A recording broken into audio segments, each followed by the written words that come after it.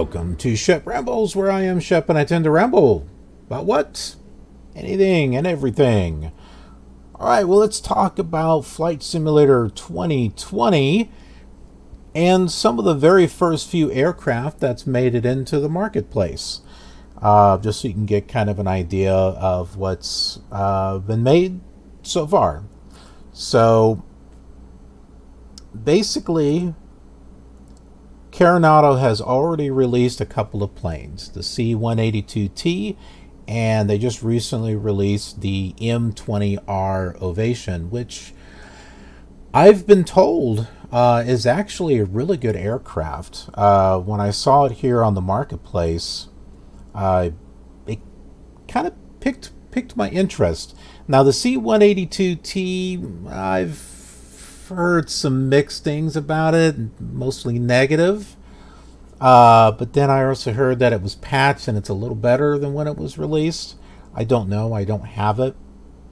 Um, but here are some pictures here uh, that we can go ahead and just kind of take a look at. I don't know if these are... Okay, so this is the 182T here. Now, Carenado, they've always made good looking aircrafts. Um, it's debatable on whether they were good quality flying aircrafts. Um, I have noticed that the ones for X-Plane uh, have been better than the ones for P3D or FSX. So, yeah, here's some stuff for uh, the 182T, and hopefully we'll we'll get to see uh, the ovation here. So some very nice stuff. Hey, look, an actual pad that works. I did a live stream uh, with the 787. Didn't go too well uh, as far as how I landed. So if you want some comedy, uh, go take a look at past live streams that I've done uh, on YouTube, and uh, you'll get yourself a good laugh. Uh, but on that, there's like a tablet which didn't do apps. It didn't do anything at all. It was kind of disappointing.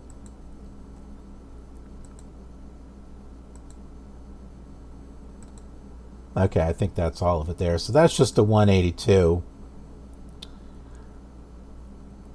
Oh, looks like the ovation's down below. So Carenado is known for maintaining a large catalog of aircraft for FSX-P3D and X-Plane, and they have just released their second aircraft into the marketplace, uh, which is the Ovation that we mentioned. And this comes with in uh, the Microsoft G1000 built in.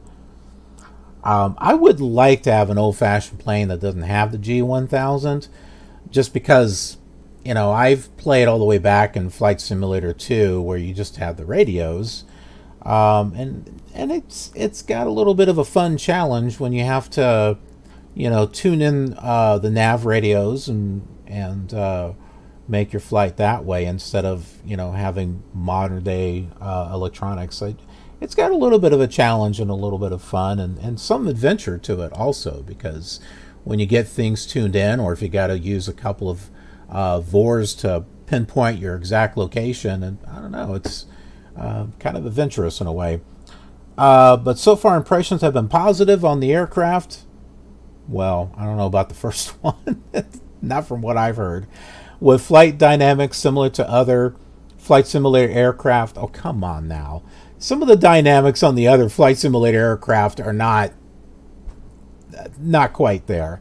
Uh, functional systems uh, including the ability to open doors and windows. Oh, there aren't any other flight simulator aircraft in the default game where you can open up doors and windows.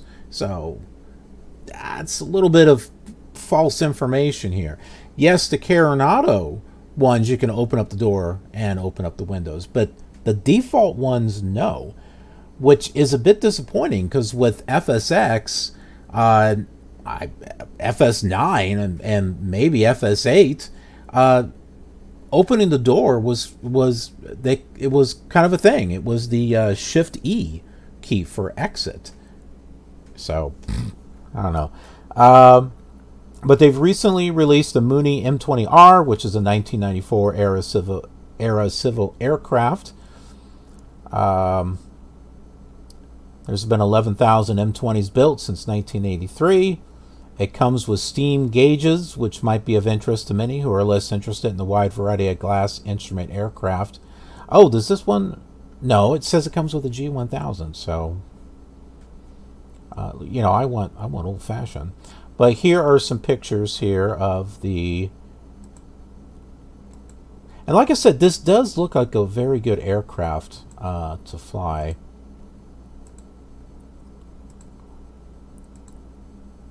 I'd very much like to get this and maybe do a review, but um, I don't exactly have any income coming in right now. Also released is Big Tire Productions. Uh, they're releasing the Kitfox. Uh, this is a combined X-Plane and uh, MSFS product. Big Tire Productions. They're working on a Kitfox for both X-Plane and Microsoft Flight Simulator. I think this is out already now. Uh, the Bush plane is a kit-built light sport aircraft, very similar in style to many other Bush planes. Owners of this aircraft on xplane.org store can download the Microsoft Flight Simulator version for free from the store. Uh, how does that work? uh, I guess you have to go to their store or something. I mean, how is the Microsoft Flight Simulator store going to know you bought the X-Plane version? I don't know. Uh, meanwhile, you can also buy the Kitfox on the xplane.org store for $32.99. Uh, for that plane, I don't know. I don't know if $33 is worth it for that. Maybe half of it. I don't know. If you have the plane, let me know. Uh, 11.95 Canadian. Let's see, that's a little bit more. Aircraft was released in an early state with some issues uh, that has contributed to a 2 out of 5 star ratings at this point. It may improve over time, and the price is very affordable like I said, I don't know if it's worth it for that that kind of money. Uh, and then plenty of developers are going to be working on stuff. I mean, we've heard that PMDG is going to release something, and A2A is going to be doing something. Uh, but anyways, what do you think about this? Do you have any of these aircrafts? What do you think? Do you recommend them? Let me know in the comments. And if you like this video, found it entertaining and useful, click that like button and subscribe if you're new here. Ring that notification bell so that way you get notified of future flight simulation content and rambling uh, content. Uh, it all helps out as far as sharing the video online and everything. Doing everything I can to build this channel up. And uh, hope you'll be part of the community. All my social media links are down below. I do streaming throughout the week and uh, uh, pictures and stuff on Instagram and news on on Twitter about the station. So um, hope you'll check all that out. Meanwhile, I'm going to answer my phone. Actually, maybe not, but anyways, thanks so much for watching. I appreciate it, and I will see you on another rambling video real soon. Have a killer, awesome day.